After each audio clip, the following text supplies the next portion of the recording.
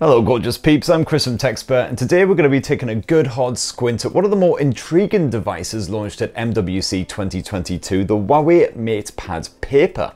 The MatePad Paper isn't just an e-book reader, it's more like an e-ink tablet, boasting some impressive features that you won't find on any of them Kindle jobbies. Now the MatePad paper is certainly a lot more expensive than the likes of the Kindles. It'll cost you 499 euros, so it'll set you back about 400, 450 quid here in the UK. The question is, is it worth that extra scratch? Well, let's whip it on out the box, take you on a full-on tour of all of the hardware and software. And for more on the latest and greatest tech, please do plug subscribe and ding that notifications bell. Cheers! Oh, that's stiff, so to speak. Uh, so my review unit of the MatePad paper also comes bundled with the MatePad paper folio cover. We'll check that out in a bit, but first of all, let's concentrate on the tab itself and what you get bundled in the box. So what you've got is, of course, the device itself. You've got a dinky wee power adapter. It's actually smaller than most phone chargers that I've fondled recently. You've got a Type-C USB cable. You've got Huawei's stylus pen as well, so you can get all sketchy with the MatePad paper. And you've got a couple of bonus stylus nibs stashed in there as well, in case you need to replace the original.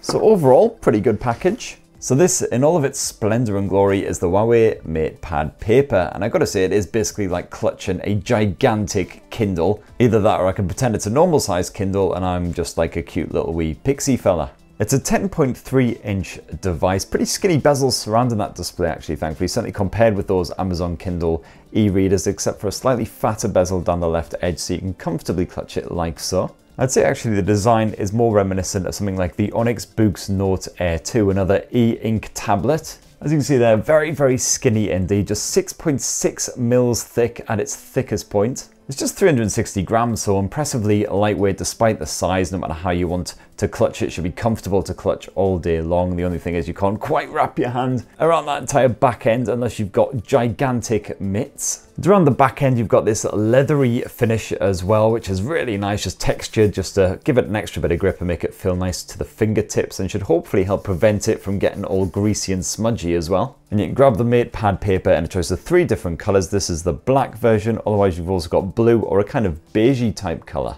Rest of the design, pretty straightforward stuff. You've got your Type-C USB ports down below for charging this thing up. If we flip over to the right hand side, that's where you'll find a volume rocker up at the top end. And then lastly here on the top edge, you've got your power button with a built-in fingerprint sensor.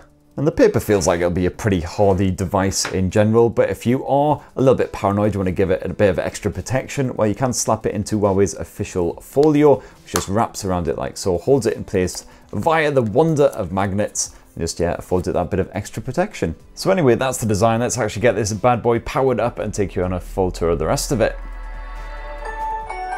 Oh, actually does a little Huawei jingle as well, lovely. Right, so setup is complete and I have registered my fingerprint as well. So now whenever I want to log in to the MatePad paper, all I've got to do is just tap my digit there and yep, we get to skip the old pin entry shenanigans. Now running the show here is Huawei's very own Kirin 820E chipset. So far, performance seems similar to the likes of the Amazon Kindles. When you tap stuff, don't expect an immediate response like you would on your smartphone. It does still take a second or two for things to happen. It's just like waiting for a response from me after I've had a couple of pints, for instance. It's most noticeable when you're uh, searching for something in the bookstore, for instance, you're typing, you'll notice that sometimes it takes a little while for your typing to actually catch up. As for the actual operating system, well, the MatePad paper is running Harmony OS 2 as found on recent Huawei smartphones, but obviously in a very different form. Kind of similar to how you had a bastardized version of Android running on those Onyx Boox tablets. So as you can see there, your homepage is just nicely laid out. So you've got fast access to any pertinent events you've got to attend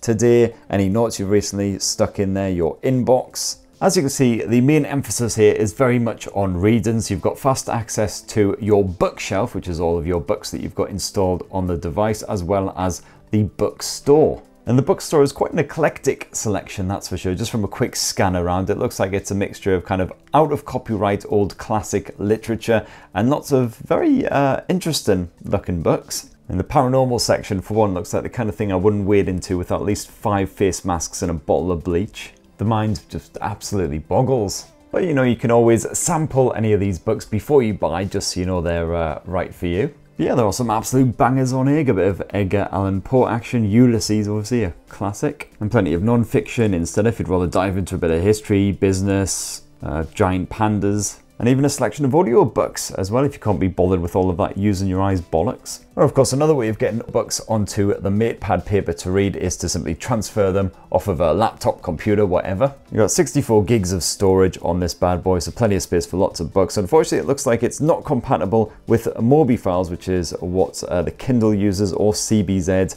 uh, graphic novel files either, but it is compatible with PDFs by the looks so it. seems to have recognized that one, so let's give this a go. And there you go, that's working an absolute treat so I can get my geeky 2000 AD fix on the go. So yeah, if it's cross-compatibility you're after straight out of the box, those Boox e-readers absolutely fantastic, so quick and simple, just copy your files across and pretty much everything was immediately understood and worked with. So now let's focus on one of the highlights of the Huawei MatePad paper, that epic size 10.3 inch e-ink display. It is monochrome, of course, as standard with e-inks. And Huawei bigs up that a mighty display as a major advantage as it means less page turning compared with most e-readers, so it's ideal for lazy gits basically. But it's also really, really good if you fancy yourself a good bit of graphic novel action. You've got an 1872 by 1404 pixel resolution, so those visuals are nice and crisp pretty respectable contrast as well for an ink display, so moodier graphic novel fare like Judge Death definitely looking pretty slick. In fact, according to the tech specs, it's 256 grayscale effects, so 256 different levels of grey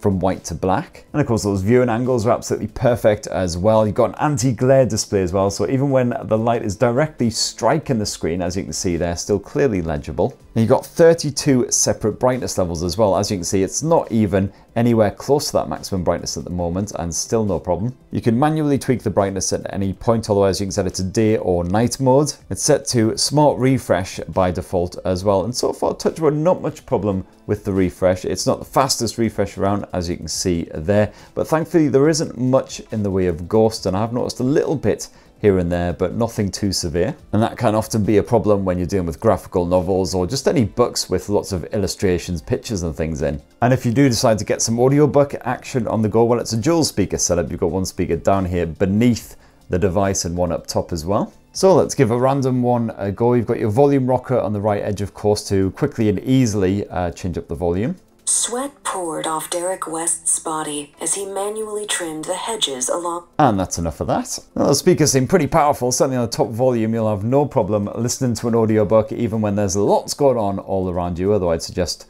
not listening to this particular one when there are other people about. Vocals coming through pretty clear as well, so you could feasibly just stick on an audiobook or podcast or whatever, slap the MatePad paper down beside you if you didn't want to uh, bother with headphones or anything, but you do have Bluetooth 5.2 support as well if you do want to get connected up. And then of course you've got the Huawei M Pencil stylus support as well, and that comes bundled in the box as you saw before. All you got to do is stick the stylus on the edge of the e-reader like so, and then they will pair up via Bluetooth. Very quick, very straightforward and simple. Get a nice little tutorial on how to actually use the thing. And this stylus is as good as it comes, basically. You got 4096 levels of pressure sensitivity, you got 26 millisecond latency, so basically as soon as you touch that tip to the screen of the MatePad paper, you will instantly see results. Meanwhile, the textured surface of the display gives a proper paper-like feel when you are scribbling as well, which is really, really nice feedback. It's just times like this I wish I had any kind of creative talent whatsoever. You can also record little voice memos while you're sketching as well. Quite handy if you're going to be in a university lecture or something like that, for instance, so you can record what is going on while you're taking the notes and replay it back like so. And this right here is uh, my take on a person who's happy. Um, I've heard such people do exist, uh, who's, given him a bit of hair something that I don't have, so I'm personally already very envious of this 2D fictional character. And when you're reading a book, you can also scribble notes actually directly onto the book, if you like. All you have to do is swipe down from the top corner using the stylus pen, uh, like so, get there in the end, and then you can, as you can see, annotate, and then just, uh, just do whatever you want to do. And then when you finish annotating, you can just save it for later. You've also got lots of other features you'd expect, including handwriting to text and a split screen mode so you can read a book and take notes at the same time, for instance. And then you've also got a small selection of apps sat here on the MatePad paper as well. Pretty standard stuff. So you've got a file browser, you've got the optimizer app, calendar, email, recorder. And like those Boox tablets, you also have a basic web browser as well. This allows you to quickly jump online and go to any uh, website you like. And obviously, an e-ink device isn't the ideal way to browse the internet because it tends to be not quite as quick and the screen obviously not as well suited to scrolling up and down web pages. As you can see there, the refresh rate obviously not as strong as the likes of a smartphone or a proper dedicated tablet. But it'll certainly do the job in a pinch, and as you can see, you've got that nice spacious screen, so it's absolutely fine, well suited to reading long articles and the like. What's even more intriguing is the fact you've actually got a direct YouTube link right there on the main browser page. So if you wanted to, you could enjoy Uncle Spurt in full monochrome glory right here on the MatePad paper. And there you have it, a bit of TechSpurt action on an e-ink display, exactly the way I intended it to be viewed. There's possibly only an 80% chance that my ghostly monochrome visage will haunt your sleep until you wake up in a puddle of what you can only pray is sweat. And of course, there's room for expansion in the future as well because you've got support for Huawei's app gallery here on the MatePad paper as well. A very small selection of apps available at the moment, however, that appears to be basically it. As for the battery, well, it's a 3625 milliamp hour cell packed inside of the MatePad paper, give you around 10 hours of full-on screen on time. So there you have it, that in a nutshell is the Huawei MatePad paper. Few little issues right now, such as a lack of app support and a lack of cross-platform compatibility as well. It'd be nice to be able to just chuck Kindle books on this thing and read them wherever you roam, but hopefully that's the kind of support that will come in future updates. And for now, it'd be great to hear your thoughts down in the comments below. Please do poke subscribe and ding that notifications bell for more on the latest and greatest tech, and have yourselves a bloody wonderful rest of the week. Cheers everyone, love you.